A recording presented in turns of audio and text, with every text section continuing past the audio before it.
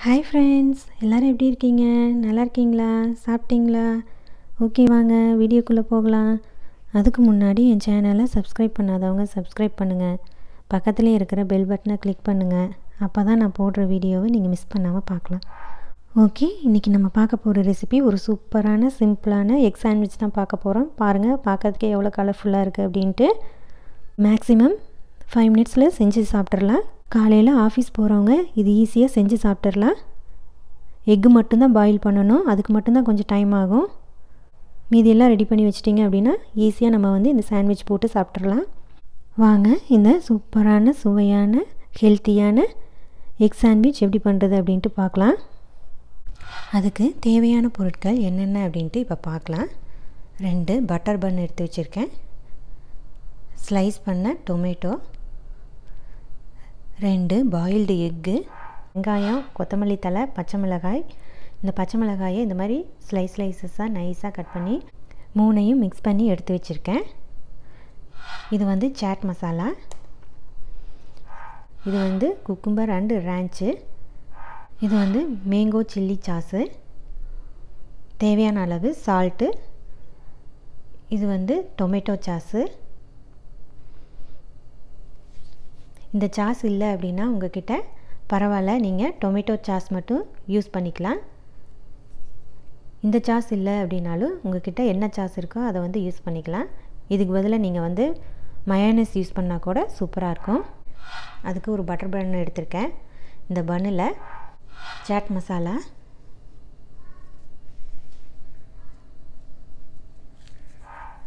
தேவையான அளவு சால்ட்டு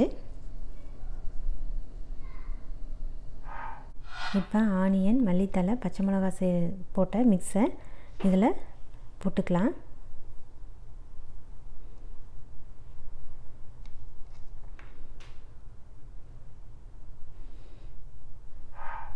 போட்டுட்டு ஸ்லைஸ் பண்ணியிருக்கிற தக்காளியை வச்சிடுறேன். பாயில் பண்ண எக்கு கட் பண்ணி வச்சுக்கலாம். இப்போ இந்த அவிச்ச முட்டையை இதில் வச்சிடலாம்.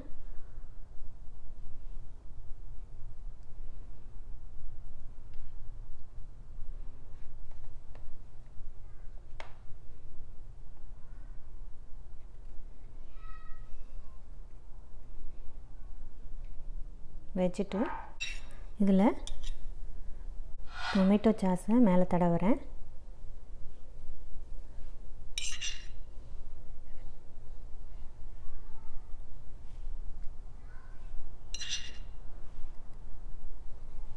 தடவிட்டு இது டூத் பிக்கு அந்த குச்சியால் இதை வந்து குத்திடலாம்.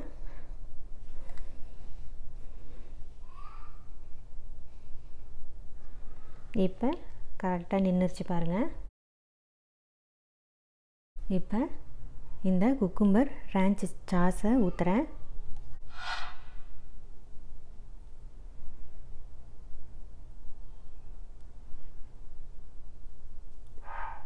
இந்த மேங்கோ சில்லி சாஸை இதில் ஊற்றி வச்சுருக்கிறேன். இதை நல்லா மிக்ஸ் பண்ணிவிட்டு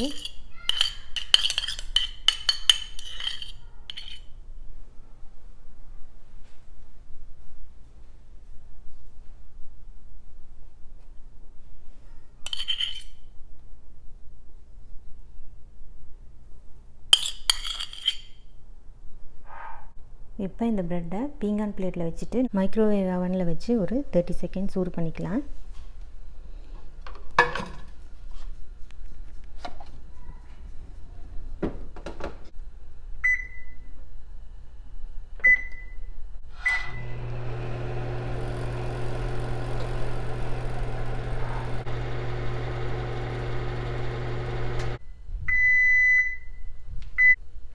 இப்போ தேர்ட்டி செகண்ட்ஸ் முடிஞ்சிருச்சு. பாருங்கள் பார்க்குறதுக்கே எவ்வளோ கலர்ஃபுல்லாக எம்மியாக இருக்குது அப்படின்ட்டு.